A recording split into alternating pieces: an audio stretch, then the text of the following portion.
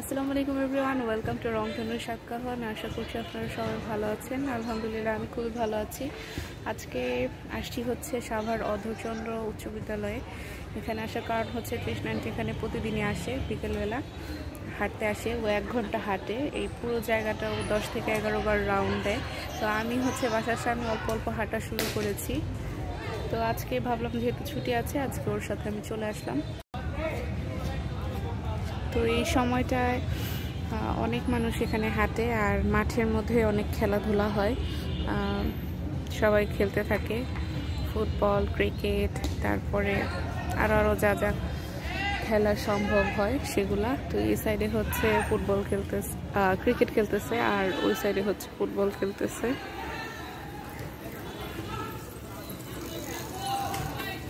আর আমি এখানে একটু বসছি গাছের নিচে বাসা থেকে এই পর্যন্ত হেঁটে এসে এখানে একটু বসে আছি। আর ও হচ্ছে অলরেডি হাঁটা শুরু করে দিছে।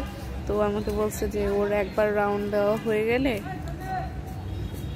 তারপরে আমি যেহেতু হাঁটা শুরু করি। তো তোমরা দেখতে পাচ্ছ কিনা ওই তো হেঁটে চলে আসতেছে।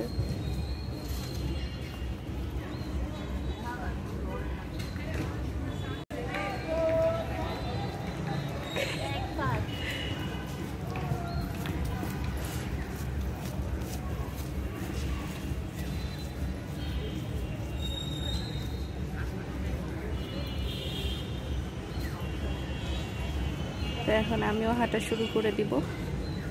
তবে আমি হচ্ছে এত বেশি হাঁটবো না ওর মতো। ও তো এক ঘণ্টা হাঁটে, আমি হয়তো আধা ঘণ্টা হাঁটবো।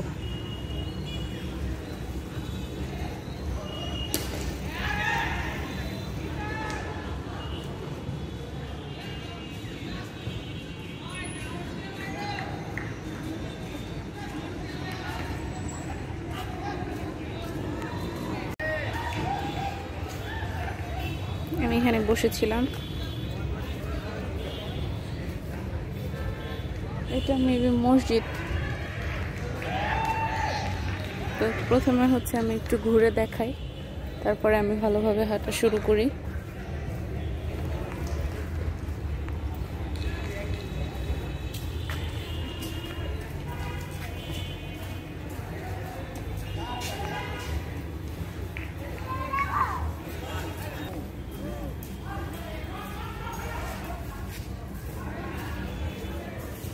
এর আগে একদিন আসছিলাম পরে এই কক্ষগুলো খোলা ছিল।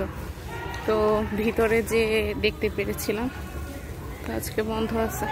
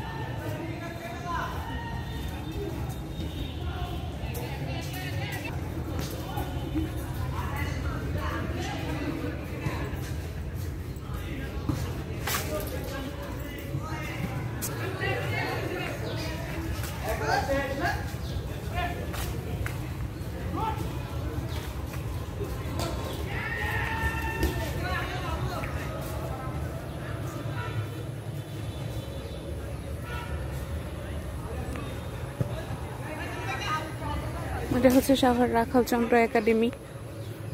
এখন জরাজীর্ণ হয়ে গেছে। আর এই তো শহীদ মিনার। এখানে মানুষ বসে আছে। আজকে আমি টুনা মাছের কাবাব করব। এর আগেও একদিন করেছিলাম, কিন্তু তোমাদের ভালো মতো দেখাতে পারিনি। তো আমি হচ্ছে, দেখো, ডাল ভিজিয়ে রেখেছিলাম। সেটা এখন ব্লেন্ডার করে নিব। আর সাথে হচ্ছে কুচি করা পেঁয়াজ আর কুচি করা কাঁচামরিচ। এগুলো সব একসাথে আমি ব্লেন্ডার করে নিচ্ছি। এই তো আমার ব্লেন্ডার করা হয়ে গেছে। একেবারে বেশি নরম করে ফেলিনি, আবার দানা দানাও রাখিনি মিডিয়ামভাবে ব্লেন্ডারটা করে নিয়েছি। তো এখন এই মিশ্রণটাকে আমি একটা বোলের মধ্যে উঠিয়ে নিচ্ছি। এখন আমি হচ্ছে টুনা মাছের ক্যানটা খুলবো। তো ক্যানটা খোলার জন্য প্রথমে হচ্ছে আমি ওই যে অংশটা চাবির মতো আছে ওটা ধরে টান দিলাম। আর এরপরে একটা চামচের পেছনের অংশ দিয়ে ক্যানের সাইডগুলোকে খুলে নিলাম। সহজে খোলা যায় আর কি তাহলে।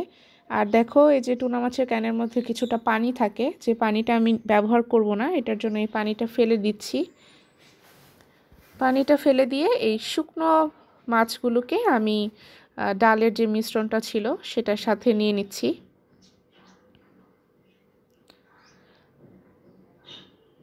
এবারে আমি এর মধ্যে দেব হচ্ছে পরিমাণ মতো করে লবণ। লবণটা একটু কমই দিতে হয়, সামুদ্রিক মাছ যেহেতু।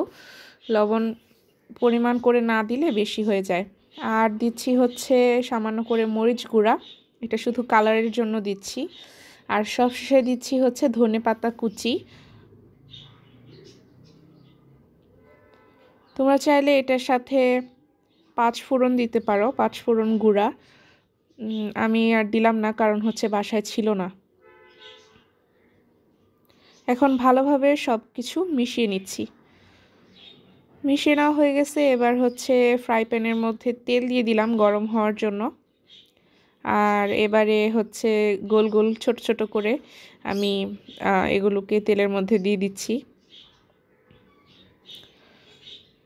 বেশি মোটা করি নাই। পাতলা পাতলা করেই দেওয়ার চেষ্টা করতেছি। মোটা হলে কি হয়? ভেতরের দিকে সেদ্ধ হয় না। তো হাত দিয়ে একটু চেপে চেপে পাতলা করে দিলে ভেতরে ভালোভাবে সেদ্ধ হয়।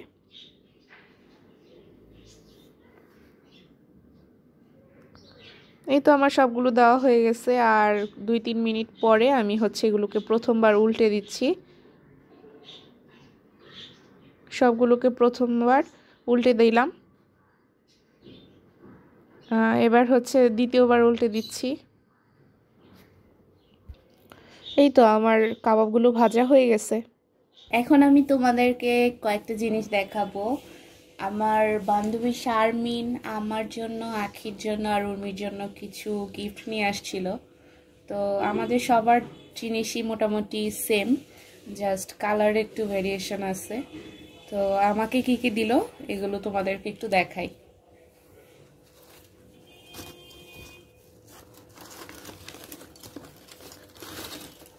কি আসছে?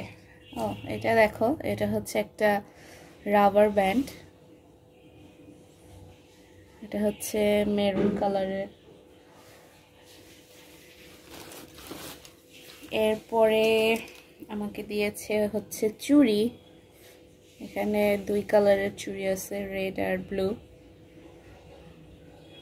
আমি উর্মিরটা দেখি নাই, কিন্তু আখিরটা দেখছি, আখিরটা ছিল হচ্ছে হলুদ আর সবুজ। ও আমাকে সব রেড টাইপের দিচ্ছে নাকি? বুঝলাম না। ব্যাপারটা কি হইল? এরপরে দিয়েছে পাঁচ ক্লিপ এটা হচ্ছে ফ্লাওয়ার দেখো। এটা আখিরটা ছিল হচ্ছে পার্পল কালারের আর আমারটা এই কালার সিলভার কালার আরেকটা পাঞ্চ ক্লিপ এটা হচ্ছে সেম, আমার আখির দুজনেরই। এখানে দেখো একটু গ্লিটার দেওয়া আছে।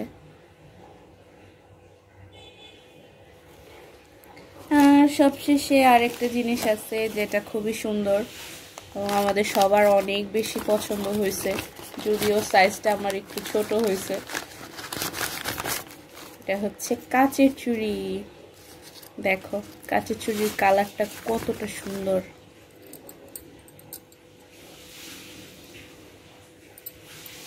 আমি এটা পরে দেখছি। আমার যেহেতু একটু ছোট হয়েছে, আমার হচ্ছে সাবান দিয়ে পড়া লাগছে। আর আমি এমনি ভয় পাই অনেক।